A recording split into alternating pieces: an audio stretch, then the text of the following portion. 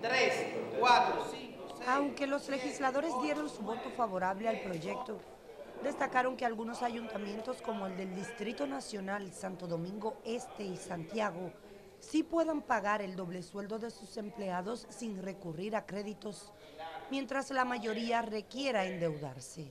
El senador por Puerto Plata, José Ignacio Paliza, dijo que además de la falta de planificación de los ayuntamientos, esta necesidad de todos los años se debe a que el Ejecutivo no les asigna el 10% del presupuesto público general establecido por ley. Y termina el gobierno central siendo el gran héroe cuando va en auxilio de un ayuntamiento para una obra puntual que debe ser facultad del propio ayuntamiento atenderla, pero ¿cómo? Hacerlo.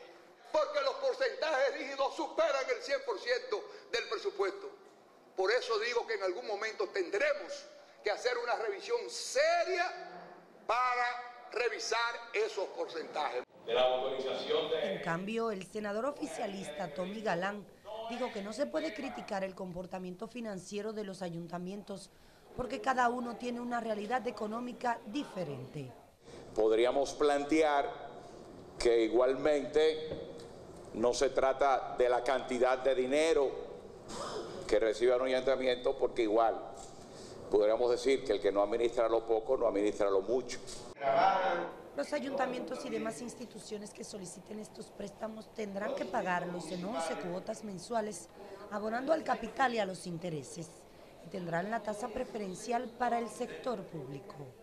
Esta pieza ahora pasa al Poder Ejecutivo para su promulgación y se pueda proceder a los desembolsos de sus capitales. Catherine Díaz, Noticias SIN.